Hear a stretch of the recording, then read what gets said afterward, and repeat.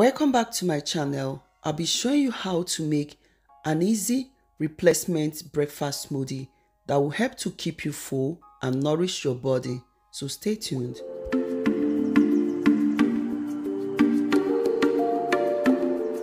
This healthy breakfast smoothie, you need 1 teaspoon of chia seed.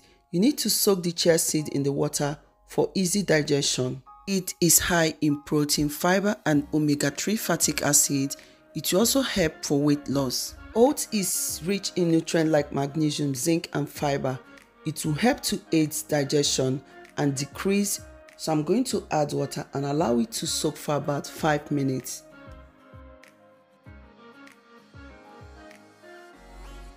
After about 5 minutes of soaking, I will drain to remove the water then I'm going to add the soaked oats into the blender. I'll be making use of spinach, good for burning fat and also it contains fiber. I'll be making use of one handful of spinach. So I'm going to add it into the blender. I'll be making use of frozen strawberries. Feel free to use the fresh strawberries add banana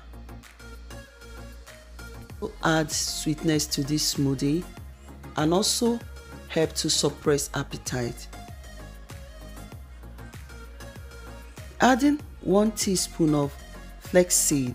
Flaxseed is rich in fiber, omega-3, fatty acid and it also help to keep you fuller. I'll be making use of almond milk. Feel free to use any milk of your choice. When I'm done adding the milk, I will cover the blender and blend until smooth.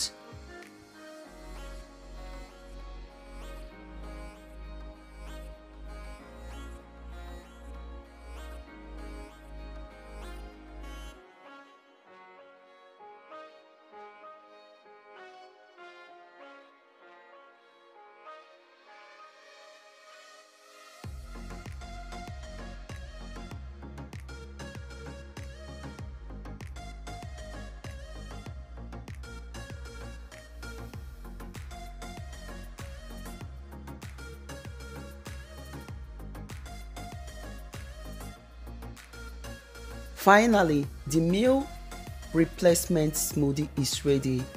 This smoothie is so healthy because it contains nutrients which will help to nourish your body, break down fat, and also help to keep you full. I hope that this video is helpful.